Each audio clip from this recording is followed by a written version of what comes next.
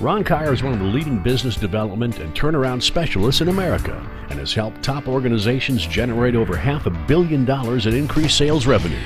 That's why CEOs have lined up to endorse his newest book, Lead, Sell, or Get Out of the Way around, it's easy to see there are many businesses offering the same products and services to consumers. It makes a difficult choice for customers at stores, restaurants, and other businesses, but it also makes it difficult for those businesses to get ahead in the market. Ron Karr is a business expert who joins us now to tell them how they can do it. And uh, good morning to good morning. you. I understand you were called the question man. Right. How did you get that? Well, basically, in my experiences, I've found that the questions we ask to the process. It's asking the right questions, asking enough questions, hearing the responses, acknowledging them, and acting on them. And you've in the past. Give us a couple of examples. One client hired me for an 18-month intervention where they wanted to reposition themselves with a major customer, and it resulted in a 10-year contract worth over $200 million. We basically rewrote how they do business in that industry. Okay, now there are a lot of business people who are watching, and from the competition. What do you say?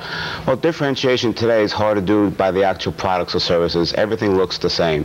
You know, maybe 20 years ago, if you were selling a mutual fund at a 20% rate, it was unknown to people. But now, uh, of a rate of return.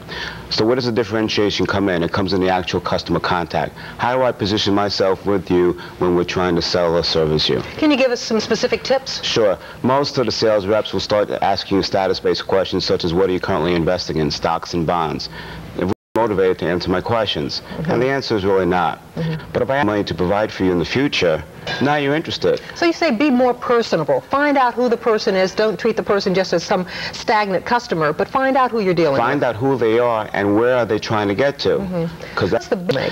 Most companies today spend incredible amounts of money trying to market to new customers. But what they fail to realize is it costs a fraction of less of a dollar to market to existing clients, increasing their net worth.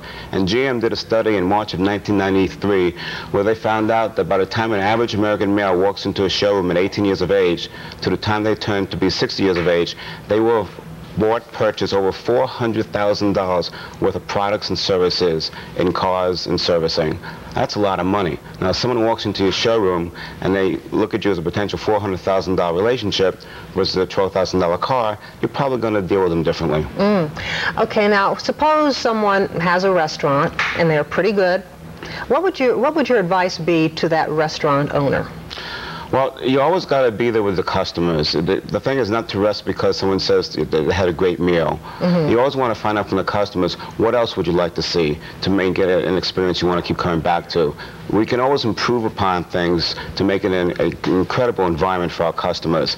We've got to keep keeping the taps on the pulse of our customers. So find out what their, their tastes are, what their likes and dislikes are. And also the environment of the restaurant, what do they want to come into. And also, do you have to keep real good tabs on your employees? And is employee morale something that can affect?